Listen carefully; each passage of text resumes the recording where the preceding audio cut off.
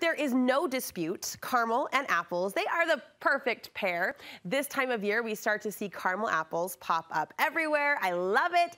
And you know that large tart apple, when it's loaded with layers of topping, it's irresistible. And although those apples are delicious, they can be a handful to make at home if you've ever tried it. There's an art to making gourmet apples just right. Well, today we'll get all of that classic taste, but into delicious and I'll say fairly simple recipes. Beverly Constantine is joining me to share her favorite caramel apple inspired treats. It's so good to see you. So good to see you as what, always. What do you think it is about the combination, the palate friends of apples and caramel? I think it's just a perfect marriage of that buttery, silky, sweet, tart. Yes. Just, they just marry so perfectly. Now I'm feeling reverent about the whole thing. it really is such a great combination. It's when we come to crave around fall. And you are fantastic at these gourmet caramel apples. We'll talk about why you're such an expert in just a little bit. But first, give us kind of a smaller scale variation of that combination we love, that flavor okay. combination we love, without the huge mess or commitment of an actual gourmet caramel apple. Okay, I can't commit that it's not a big mess. You're still using a lot of supplies, but it kind of came about where it was like I would be teaching a caramel apple class and I'd always have a little bit extra on that bottom. Yeah. And I'm like, we can't waste. No. I am in no waste when it comes to all the sweet things. So I thought, well, what can I use all the same supplies and use something that will last longer than just a couple days. Okay. So it doesn't have to be refrigerated. It's quick and easy. Like if you're trying to do yeah. a quick little favor, it's perfect. So these caramel apple bites were born. Yes. So with this, I like, it's so important to get the really pretty dried apples because that, obviously you see that. So it's of course a, not just taste, but it's pleasing to the so eye. So using dry apples for that shelf dry life? Dry apples, yes. So okay. that's gonna be the shelf life. And then um, I have noticed like when I do full size, it almost seems to be a little too much and too heavy. People want bite, uh -huh. and so bite means for me half. Okay, okay. Some people it might need a quarter, but to me, I need a full half. we so, want our mouth full. It's a full yes. bite. So I usually use a scissors and I just cut them in half. Okay. And then I'm just gonna, I did learn last night that I probably should use tongs just to be on the safe side because it is hot. So we're just gonna dip it in that caramel. Oh my goodness. Wiggle it around. Give it a jiggle wiggle. So everyone's favorite caramel apple is usually always the apple pie caramel apple. Uh -huh. So that's what we're doing is that version, is we're taking this. You weren't shy with that caramel. Oh, no, no. Look at I you, girlfriend. Generous. That is like generous and loaded. And so we're just gonna dip it, and then I usually set it either, most of the time I use a um, silicone mat. Okay. You can use parchment. I feel like this, it's just perfect because it makes sure it peels off yeah. every time. And usually the parchment paper might slide and move, uh -huh. where this, it stays nice and flat on your mat. Look at this. So once we get those ones Can done. I keep dipping while you oh, keep talking? You bet. Okay. So next one, I'm actually gonna switch this places you with bet, you. You bet. So if you wanna try dipping those, next step is gonna be to add the um, white chocolate on it. Okay. So we're gonna take one of these, and again, with the silicone mat, it just uh -huh. comes off so perfectly. Uh -huh. We're gonna dip this in there.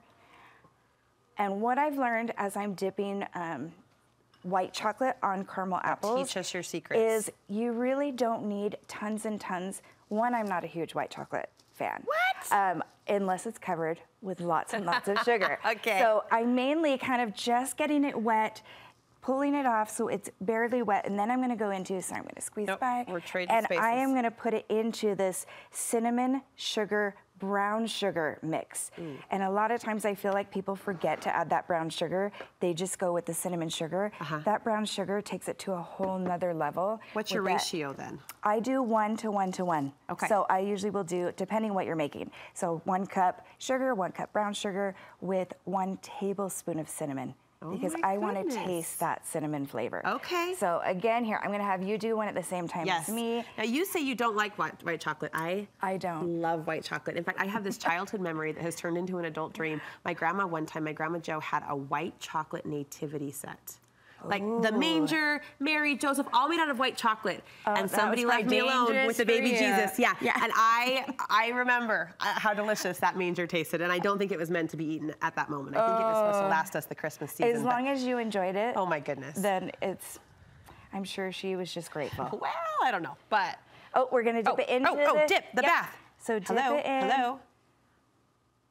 And if you don't shake off the excess, a lot of the white chocolate will just melt into That's there. what happened to me. You just can toss it around, get it coated, and then pull it out for okay. the next one. Clean ones. it up. Okay. Yeah, just quickly coat that Delicious. The caramel apple bites. All right, you've Yes. got one more recipe for and us. And then you actually can drizzle. You don't have to, but if you're trying to just level up a little, you can drizzle a little Oh, white yeah. chocolate Oh, just yeah. to make it a little bit more fancy. Oh, please drizzle, drizzle. Okay, Yes. what's recipe number two? Okay, recipe number two, we are going to be making a, um, it's cream cheese caramel apple dip.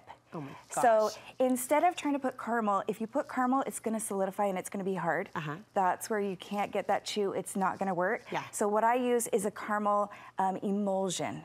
So we still get the flavor, but we still get to keep our texture. Fantastic. So I just put a block of cream cheese in here, Uh-huh. stir it up, make sure it's either at room temperature or you can microwave it. Okay. We're gonna add, first I'm actually gonna do two tablespoons of this brown sugar. Okay. Because again, I'm addicted to brown sugar. We it love just, the brown sugar. I just think it adds such a layer of flavor that just elevates it. So then we're also gonna put powdered sugar. okay. So it's almost like you're making a frosting and you absolutely could use this in layering a cake. This is how I like my apples with a little bit of frosting. Exactly. Yeah. I don't put butter. You probably could put butter, but I just really want to keep all that flavor and not be over the top, more towards a frosting. This yeah, is more of a dip. Okay, okay. So we're just gonna mix that up. Yep. You would add some this of it? this caramel um, emulsion. Okay.